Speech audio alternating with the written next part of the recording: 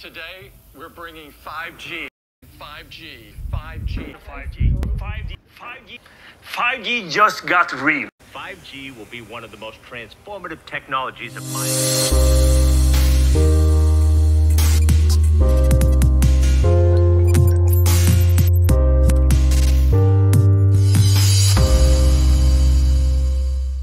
What's up, everybody? Welcome back to Phones and Drones. Yeah, so you can see a huge pitch for the end of 2020 is going to be 5G. I can't tell you how many times Apple said 5G alone in their initial announcement announcing the iPhone 12.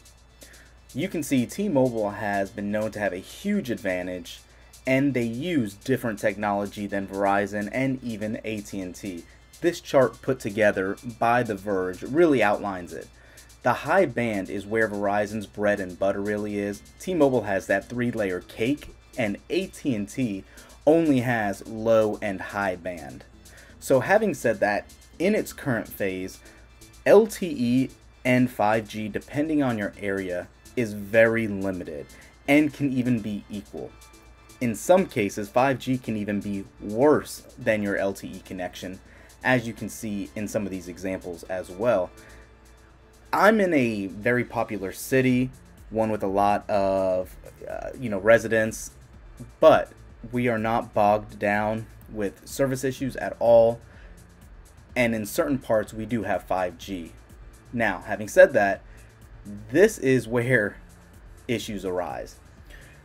Millimeter wave, ultra wideband, and that mid tier is it's all being developed differently by these carriers. T-Mobile went with the low band first, as well as mid band. Verizon is all about ultra wideband for those gigabit speeds. Problem is, they are saying that 5G is here. Well, let's let's really talk about that because 5G is here, but for Verizon, nationwide 5G is definitely not truly nationwide. You can see it talking about 1800 cities currently. It's the fastest 5G in the world, being that ultra wideband. However, wait, wait, 60 cities by the end of the year? No, that can't be. Really? Well, let's go ahead and actually look at this map. This is it. This is all Verizon has for nationwide 5G coverage in those dark red cities. That's not nationwide to me. This is kind of how Verizon backed themselves into a corner. This is the only cities currently available with that gigabit internet speed. However, with T-Mobile's approach, you're getting that low, mid, and high band millimeter wave as well. So there might only be a select few cities right now with T-Mobile and their ultra wideband, but they are on the right track. For AT&T, thanks to Android Central, you can see a very complete list of how extensive their AT&T 5G services is. Now, having said that, some of these are only 5GE, which is basically just the best LTE does offer. But you can see just how far of a lead they do have as well with true 5G networks. Basically, with 5G, the lower the band, the more distance it travels.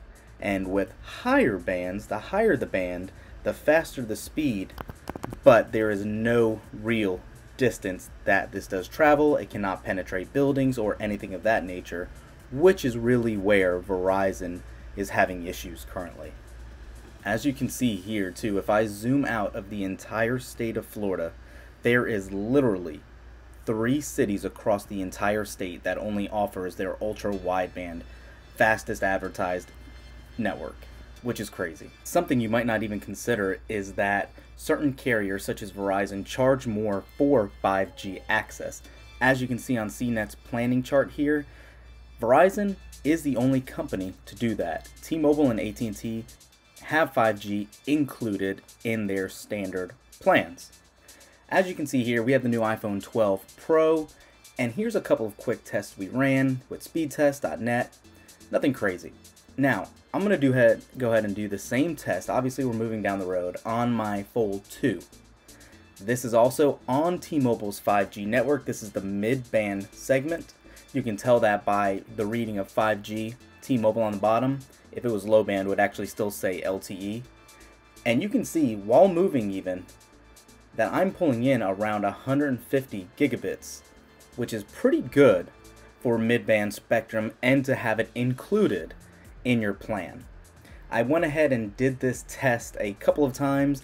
Uploads were definitely on the lower end, but when I did the same test on a LTE network on my actual iPhone 11 Pro Max, I was pulling in definitely about half the speed. So it's around 45 to 50 megabits per second.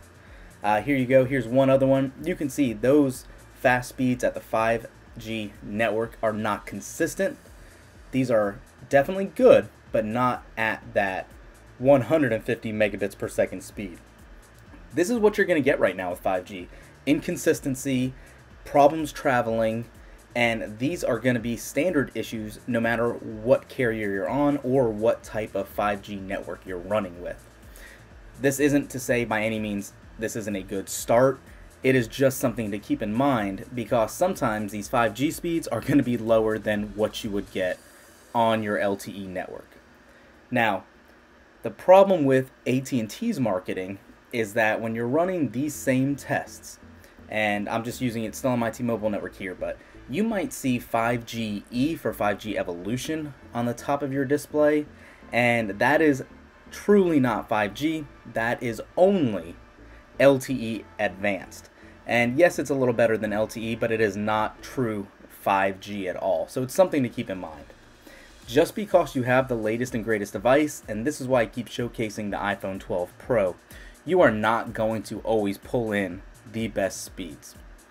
I do want to go ahead and show you a test with non-moving, so when you're actually just stationary, to show you that you are not even going to see a difference in this regard either. It's truly just up to the signal strength in your area. Here we are, we're pulling in 100, staying still, not moving, but we had 150 earlier. So yeah, it's really gonna vary. It's gonna vary depending on carrier, technology type, and it's something to be mindful for now in the upcoming 2021 year where 5G is really going to be marketed even heavier than it already is. Make sure you're knowledgeable, make sure you know the difference between these three speeds and three 5G options because they are not definitely all treated the same. Be mindful when you ask what your carrier is going to offer, if you're going to have to pay extra for this or not. Thanks for watching, guys. We'll catch you in the next one. Peace. 5G is live. Yeah. And we're just getting started. Wait until they see what's next.